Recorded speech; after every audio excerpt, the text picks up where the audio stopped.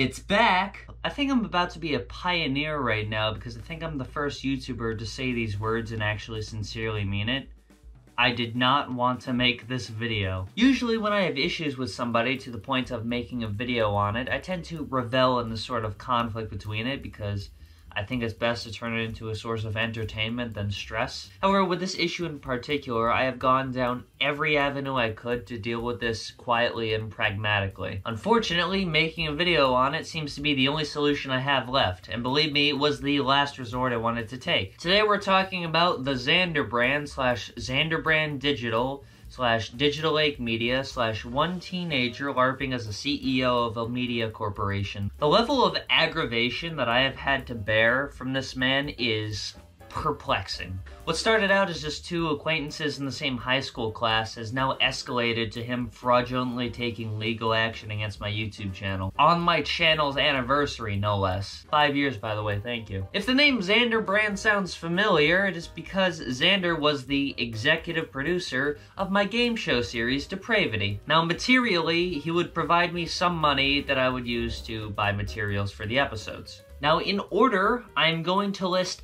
absolutely everything that he paid for. He paid for one light used in every episode, two lavalier mics used in episode 3, three digital audio recorders used in episodes 3 and 4, one foosball table featured in episode 3, not two, like he is incorrectly claiming he has paid for, one and the shock collar featured in episode 3. That is everything that Xander has paid for. For contrast, I paid for the prize money in the first two episodes, which cost $130. I paid for the materials to construct set, and I paid for many of the materials used in punishments. I used my camera equipment, I used my laptops, I used my microphones, and I had my sisters help record the first two episodes. My partner Katie paid for several of the materials used for episodes. They paid for my train ticket to go back and forth from shooting locations to my house. They paid for a new GoPro, the GoPro that is currently recording this video. They helped develop branding, they drew original art for the series, they helped consult me on developing the series, etc., etc. Eric, the real Eric, let us use his car during the Travis Scott punishment, and he also drove Katie out to my house for the first two episodes of Depravity, which I believe Katie paid for a part of the gas money for. He also used his car to bring us to the grocery store in the Repeat After Me punishment. Daniel T. Gaming paid for a lot of the materials in the first episode of the show, so did my friend Logan and Dawn and Jonas and a ton of people that I probably can't even think of because not that Xander would know this because he does not create content. It takes a lot of people to create a project like this. There's a lot of cooperation and time. However, he wants to have this idea that he is solely the most significant funder of the series. He is not. Despite how I foolishly credited him just to compliment his ego, he did not have as significant of a role as he might lead you to believe. Going back a bit, Xander is actually someone I've known for quite a while. We went to the same high school a few years ago, but my first experience with his brand was when he followed me one day on Twitter in the middle of class. Now, from which Twitter page he followed me, I will never know because he has so, so many different ones. We have Joseph Alexander Simpson, Real Joseph Alexander Simpson, Full Force with Joseph Alexander Simpson, The Xander Brand, Xander Brand Podcast Network, The Xander Brand Music Group, Xander Brand Games, Xander Brand Equilibrium, Xander Brand Digital, Xander Brand Vault, Shop Xander Brand, Do Not Shop Xander Brand, Xander Brand Pride and Equity, Breaking the Ozone, Create Indie, The Disagreement Brothers Show, Getting the Shovel, Joseph Alexander Simpson Saturday's Live Mic, Pride of Elements, this news thing that I forgot to write in my script and I genuinely can't think of the name of it. And of course, Midpoint Americana. That's 20 fucking Twitter accounts. Not including the ones that got suspended for spam. I wonder why that happened. Now let me make it crystal clear that the only reason he has so many Twitter accounts is to artificially generate interactions and impressions for his own Twitter pages to make it seem like anyone gives a shit about him. If you look at any of his Twitter accounts, the overwhelming majority of the likes and followers he has are just these other accounts that he also manages. It's like fucking Split or something. Like, it, it genuinely feels like this guy has dissociative personality disorder. This guy fucking types up prints out and signs contracts to enforce upon himself. Like, for God's sake, do you not think what you're doing is a little bit ridiculous? Now, I found humor in this, so a few months later, I volunteered myself to become a part of Xanderbrand. I was put on as an editor and a content coordinator, I believe. I don't know what my my job title was that I didn't get paid shit for. I was a guest on a podcast, I edited two episodes of his podcast, and the way he repaid me was kicking me off of the team with no discussion prior to it, and redacting my name from the title and description credits of the episodes that I worked on. After he kicked me off, the channel floundered for a few months with Xander just making more and more podcasts just to release one episode of it and then quit it and delete it. It's his typical MO. So let's fast forward a bit to December 2020. I'm not sure how exactly I got into contact with him, but I ended up asking him if he wanted to fund this new series I was making, Depravity. So, um, what have you been doing recently? I've been working on a couple of series for my own channel that I'm working on getting funding for and building a set for. The first of them is like a, uh, a game show series. That's all I want to disclose about that, really? We eventually agreed that he would provide some funding. He made it sound like he would provide a lot more than he actually did. In exchange for funding the series, I offered integrated ads, uncensored cuts on his channel, and those uncensored cuts airing a week before episodes would air on my channel, along with episode 2 airing on the same day as episode 1 on his channel when it would, you know, not be released on my channel for a month. This was all our agreement was, and I upheld every part of it. Notably, I did not exchange rights to the series Depravity. There was no contract written up in which I transferred rights over to him. There was not even so much as a written agreement that I transferred rights over to him, which will be important later on. Now, the United States has what's called first to use copyright law, meaning that the creator of an unlicensed and uncopyrighted material still holds the rights to it automatically. They do not need to go the legal route and file for copyright to protect it. By me making depravity, I am entitled to the rights of it. I know this sounds like a very basic fucking concept, but it's something that Xander Brand seems to have a difficult time understanding. I am the holder of depravity. It is my show.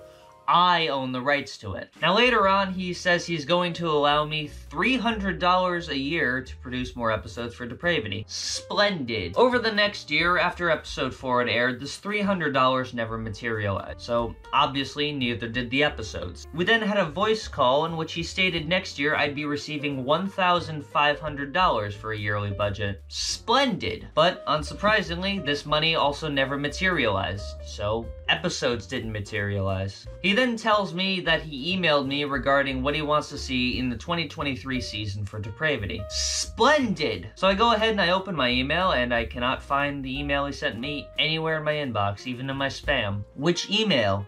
Hey dude. Yo dude. Yo. For two months, I didn't hear a single word from him, which is odd considering this information seems pretty critical to this thing he's intending on funding.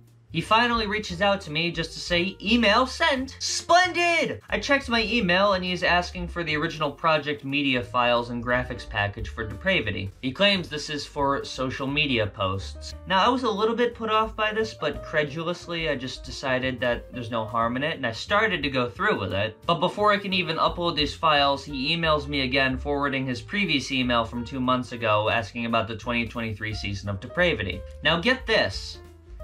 In this email, in exchange for $1,500, he fully expected me to create 24 new episodes weekly in a six month time frame. 24! Half hour to an hour long episodes. For reference, all four episodes of Depravity up to this point have probably cost on the lower end of maybe a thousand dollars. Not to mention it takes weeks of coordination and planning to get an episode put together and finished. $1,500 for 24 episodes gives me an episode budget of $62.50. Listen up, white man. That project on that scale wouldn't be feasible for 1.5 million dollars, not even 1.5 thousand. For one person? No. I cannot even illustrate how insulting it is to be proposed such a ludicrously ignorant figure. Once again, let me put into perspective the actual process for creating an episode of Depravity. First, I need to get the questions. I usually get my sister or a friend to write the question. They then seal them in envelopes. Next, I need to plan punishments. Every episode has between 10 and 13 unique punishments for that episode. That takes time to think of. Then I have to get materials. For episodes 3 and 4, that means I had to get the foosball table, the dog shocker, the secret pancakes, the vinegar, the deodorant, the vanilla extract, the rubber bands, the duct tape, the puzzles, the jelly beans, the clothespins, the dog treats, the bag of ice, and even stuff we didn't get to use like the mouse traps. That costs money. That takes time to go out and get that shit. That takes time to make sure that everything has got something and everyone knows what happens when you land on a punishment. It takes effort. Something that is antithetical to the Xander brand motto. Once I get that shit together, I need to update the wheel. I need to get the set put together, putting up tablecloths. I need to find who I can get to be contestants for that episode who I can get to be a cinematographer. And then finally, once the episode is filmed, I need to edit it and condense it down to a 30 to 45 minute time slot. The raw footage for these episodes can be between two and three hours long, so it's not a very easy task to do. It takes time and it takes skill and it takes sacrificing good bits of footage in exchange for better ones. And you expect me to do all that every week for $62? This is just a single example of Xander's reigning ignorance over the actual creative process of making fucking anything. He likes to go on saying that he wants to be creative and start a media brand, but other than podcasts and Midpoint Americana, he's done absolutely nothing. And I'm being really generous with even mentioning Midpoint Americana at all. While we're on the subject, he attempted to launch a GoFundMe page to pay for a series he wants to make centralized around Burlington, North Carolina. This is to celebrate the town, which is of course why the description of the show describes the town as a town filled by drugs, violence, poverty, and corruption. It was filled by all those things. Not one of those things skipped it. It was a train run on that town. It was extremely disgusting and horrific. He also popped up a website meant to persuade you into donating to fund the series. Let's go ahead and read some of the episode synopses. Episode 5.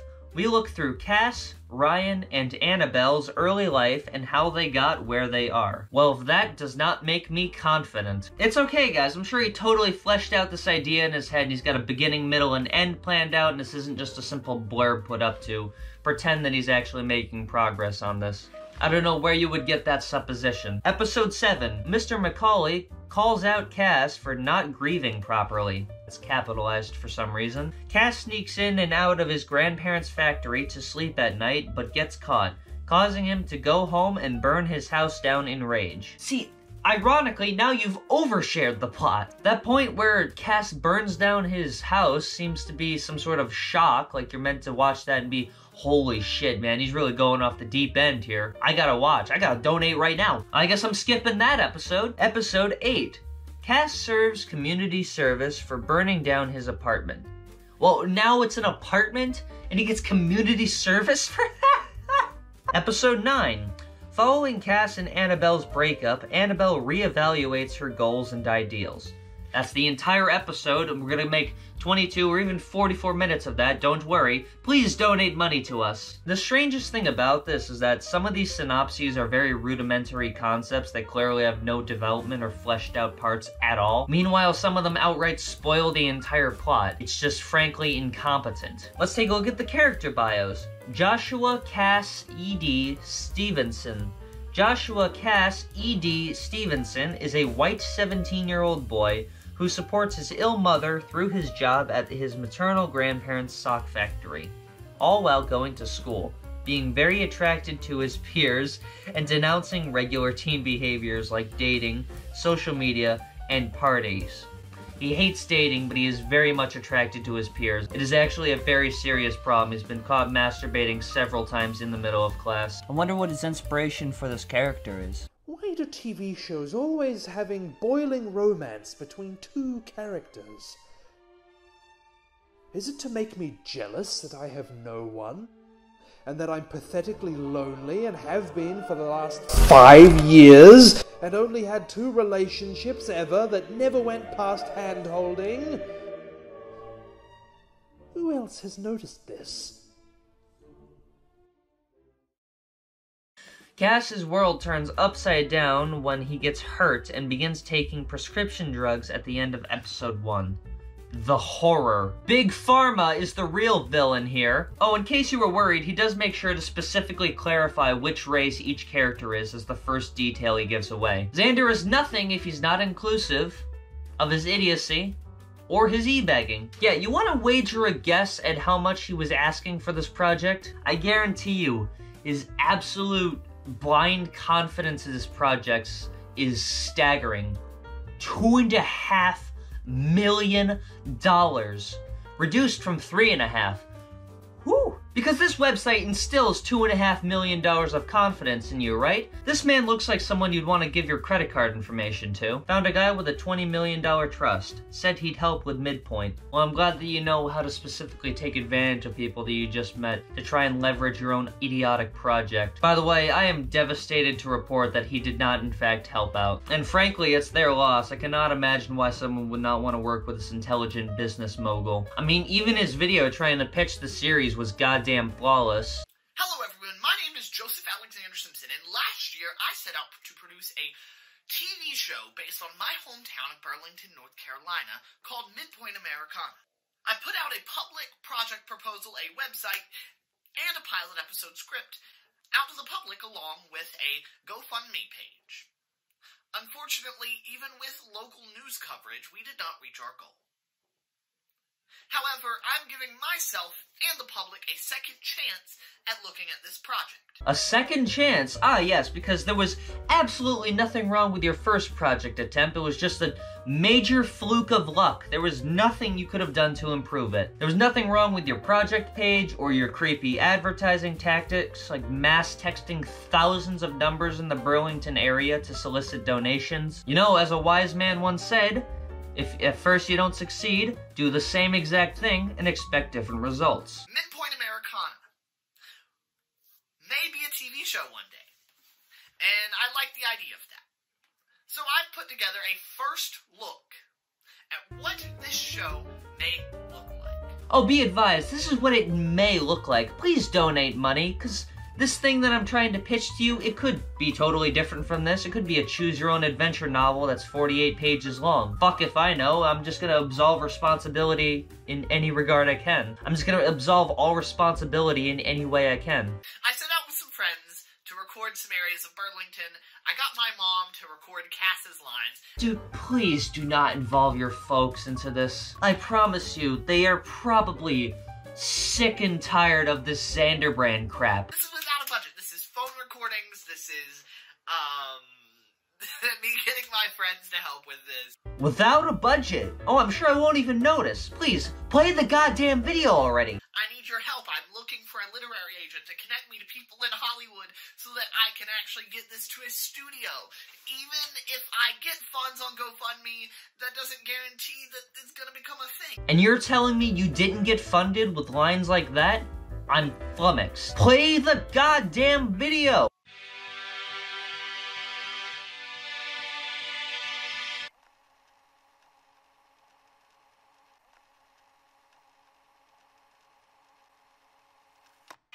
Well, this is it.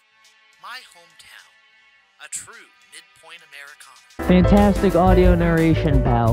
Great backtrack, too. Um, you really know how to level audio. By the way, this badly color corrected, artificially sharpened footage goes on for like 60 to 70% of the actual pitch. It's okay because it is also interspersed with handycam shots from the ground showing random brick buildings, so at least there's that.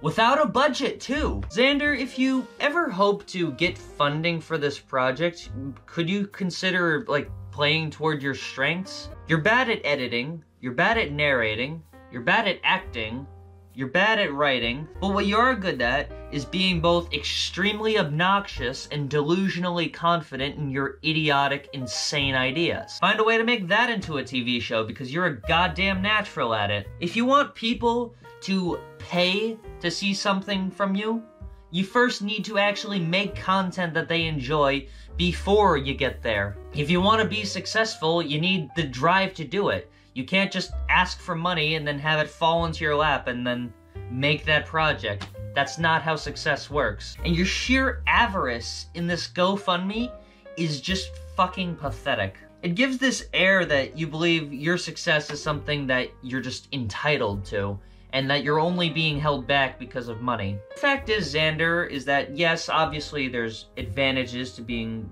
born into better financial situations, but frankly, you still need to have the drive to create something. Success is something that people fucking work for. If you do not put in the drive and the work to try and become successful, then you will not become successful. You don't get to ask other people to do the hard part for you and then you just coast on that. That's the thing that's most frustrating about the false channel strike that you put on my YouTube channel is that this is my body of work that I've been cultivating for the past five years. And for absolutely no reason at all. You didn't even have anything to gain from it. You put a false channel strike jeopardizing my channel. Going back to our emails, I negotiated with him from doing 24 episodes to 8 episodes.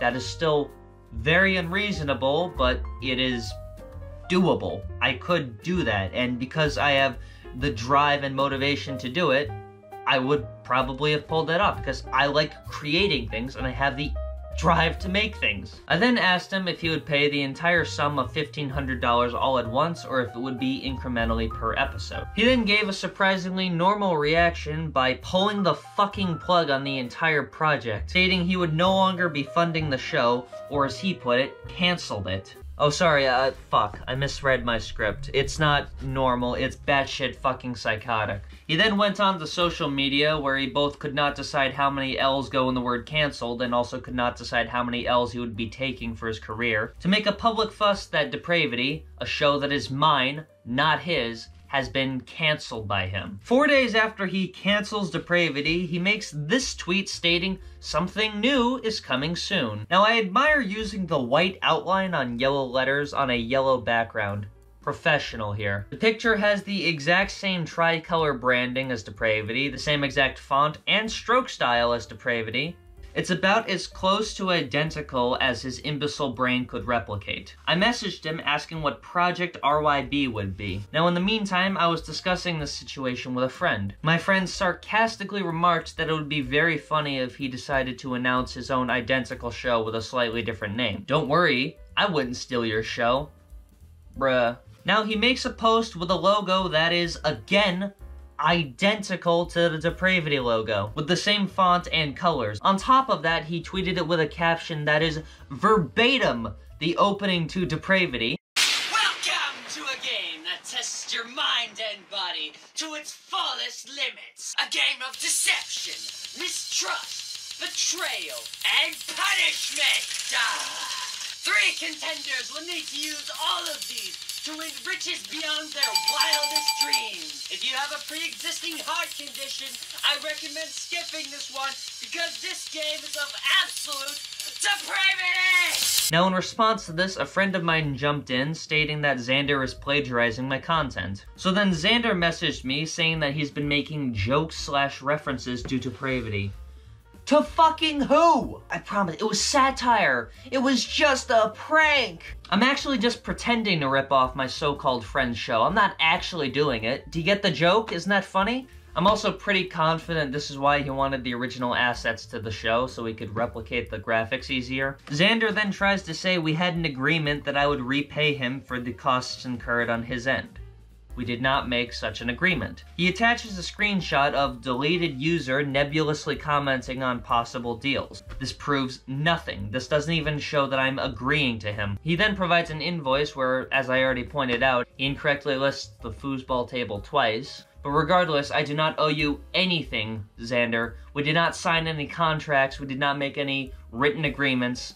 This is nothing. You paid for the show. You got my end of the deal. That's it. You do not have the rights to the show, and you do not have the right to fucking file a copyright strike against me. Speaking of which, we're finally on that. On the 27th of September at 3 in the morning, all four episodes of Depravity were hit with a copyright claim, and the claimant elected to hit my channel with a copyright strike. For those unaware, when you claim content on YouTube, you have a few options as to what you'd like to do to the person that you are claiming. The claimant can remove the video, claim the ad revenue, or allow the video to remain live for a period of time before removing it. Along with this, they can also decide if they would like to hit the channel with a strike. A copyright strike can inhibit a creator's ability to upload, use custom thumbnails or comment, and other bad things that make things really inconvenient for the creator. These strikes are meant for when you commit a serious offense against YouTube's terms of service. It is punitive and it puts your channel in a vulnerable position. Three strikes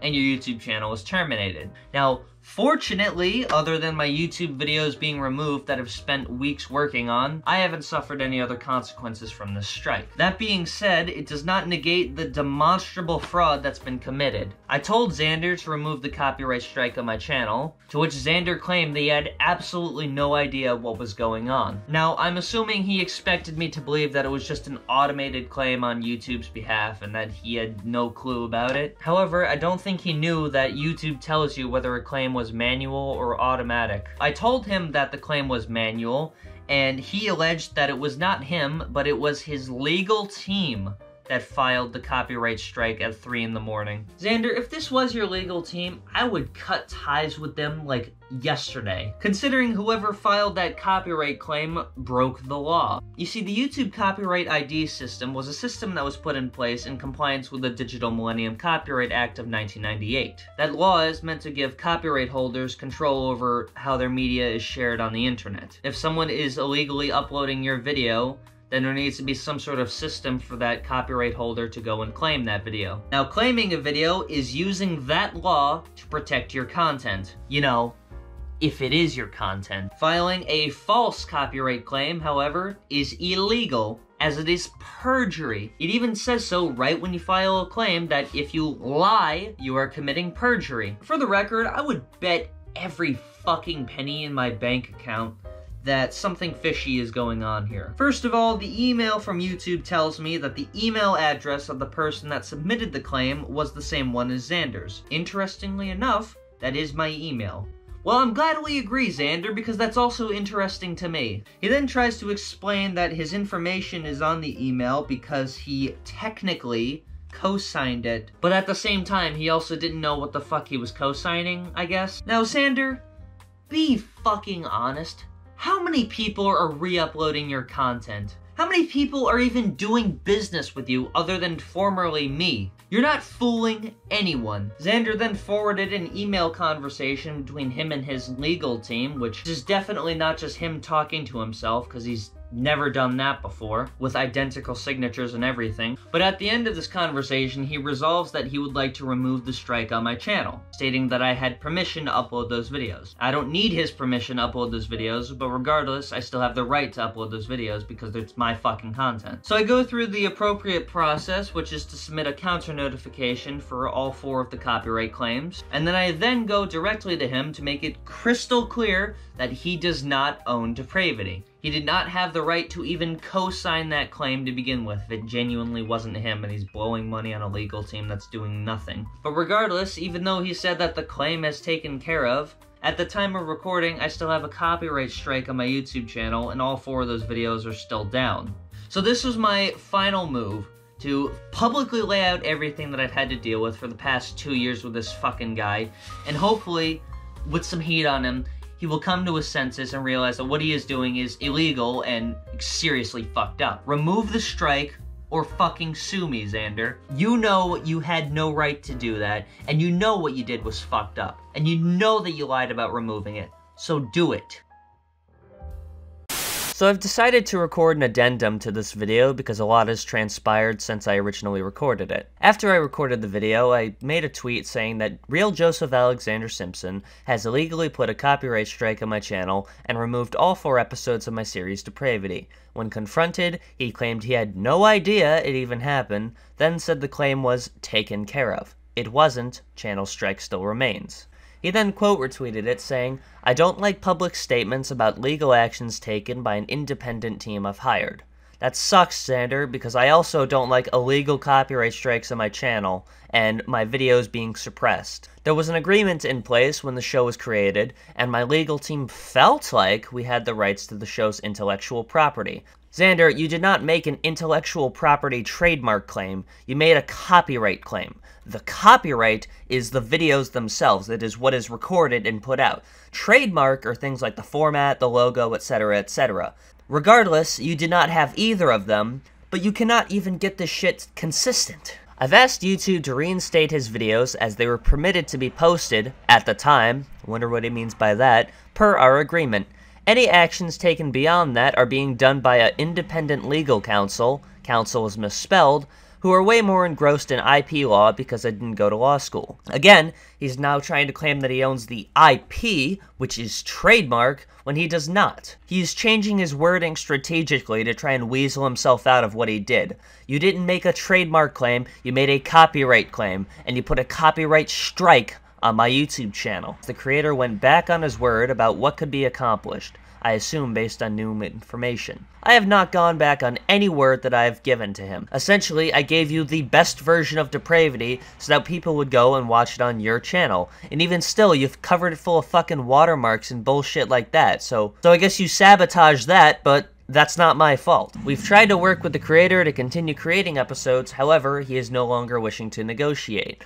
I only cut off negotiation after in the emails when you canceled the show and didn't respond to me for four days. You tried to reinitiate negotiation and act like nothing happened four days afterwards, but that's when I said that I don't want to work with you anymore. I was friends with the creator, and while I hope we can get back on the right foot, I plan on taking further legal actions if he continues in the direction he's going.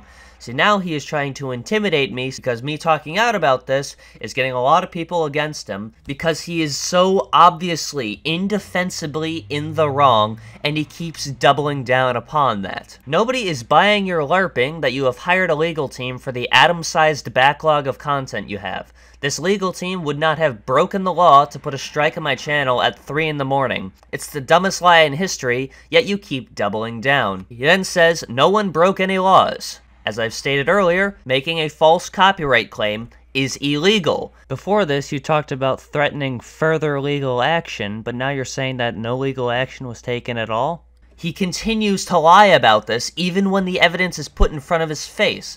And then he goes, it may not have been fraudulent. Again, this sounds very threatening, as if he has any authority to do fucking anything that he's done so far. He says earlier that he submitted an email to YouTube to remove the videos, and now he's saying three days later, oh, it might not have been fraudulent after all. I don't want to go ahead and read the entire Twitter thread because I think that'd be one, very boring content, and two, would just be restating a lot of what I said in this video but he really just doubles and triples down upon this lie that he has a legal team and that he's really successful in making thousands of dollars a month on his shitty content because he has no idea how many views he would actually need to even make $1,000. His CPM must be like $50,000 if that's the case. I could only hope to hold you onto my arms. It would make me so warm inside. I was only wanting the idea of us existing would be like a car crash. It's cool to collide you know what, guys, never mind. His content might be good enough for him to earn thousands of dollars a year off of it. It's really avant garde sort of stuff. That's why the lyrics don't actually match with the melody or the rhythm of the backtrack at all. Yeah, go ahead and tune in to Xander Brand Music Group if you want to be part of the next musical revolution. This is critique, by the way, so that way I could legally play that clip beforehand, just in case Xander's legal team needs to know about the law. But yeah, he's a pathological liar, and I would highly advise that you stay far away from him.